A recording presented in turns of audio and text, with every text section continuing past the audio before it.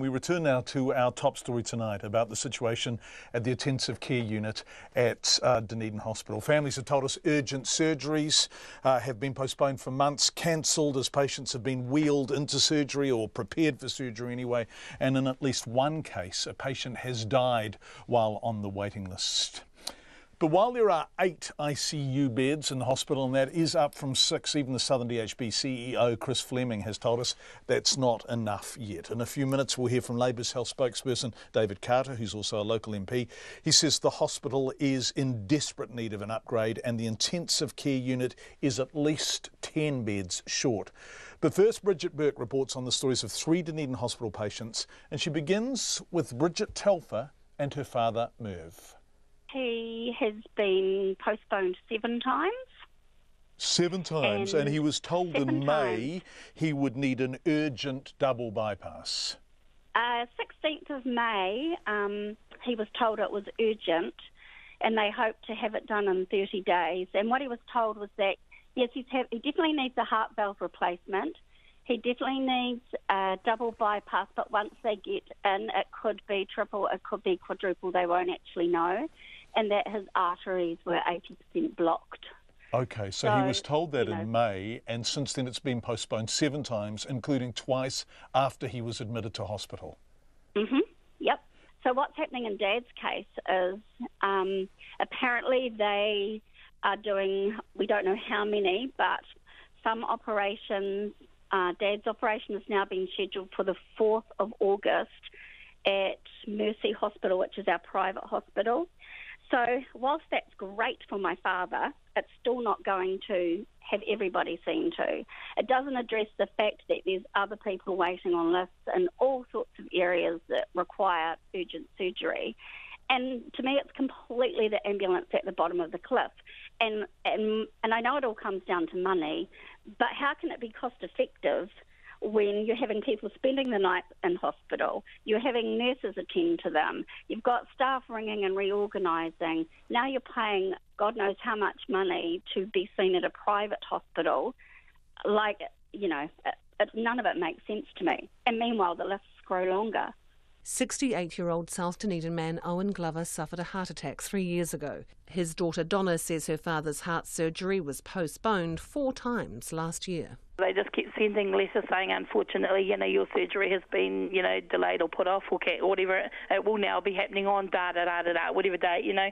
Um, but yeah, four times it was cancelled. Um, and, and, the first appointment was February that was cancelled? Yeah, and then March, and then April, and then July. And then he died in August? And then he died at the beginning of August, and they had said that he would definitely be in um, towards the end of August for the surgery, but of course, obviously, we didn't get that far. Donna says after not hearing from her father for a few days, her brother in law went round to see him at home last August to check on him. He took the door off the track and um, went in and was yelling, you know, yelling out and couldn't find him and walked into the bathroom um, and then, you know, walked through into his bedroom and he was dead on, you know, just dead on the floor. Like he just, and I just said to Pip, you know, the thing, you know, not only is the cancellation of all the surgeries bloody frustrating.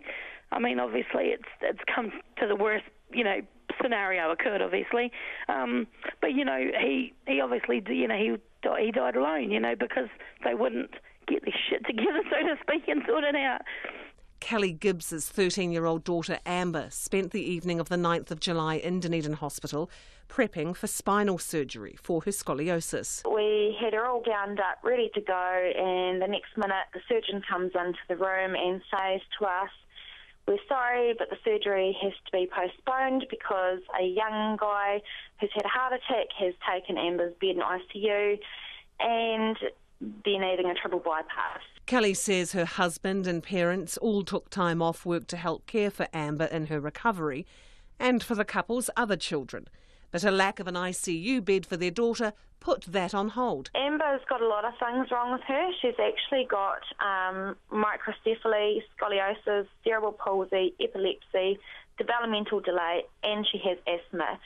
So Amber's bound to a wheelchair for the rest of her life. She can't walk, she can't talk, she is totally reliant upon us 100%. Um, she's a 13 year old girl. Um, even though she's physically, she's she's mentally she's okay. She knows what's going on around her. She knows people. She knows animals. She knows her name. She, you know, she's mentally she's good. She knows what's going on around her.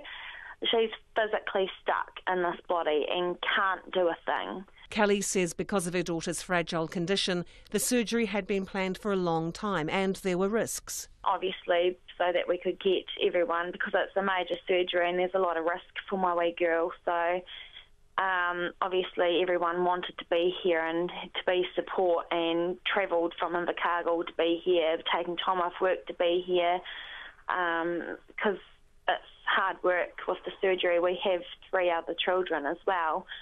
Um, so the going backwards and forwards to hospital with other children, and the fact that we have to supply our own meals now, um, because only the patients in hospital get fed. Um, so yeah, it, it, was it's a big rigmarole anyway, having to stay in the hospital, let alone being really let down, and surgery not going ahead. The couple has been told Amber's surgery will happen this year, but has not been given a date. For Checkpoint, Bridget Burke.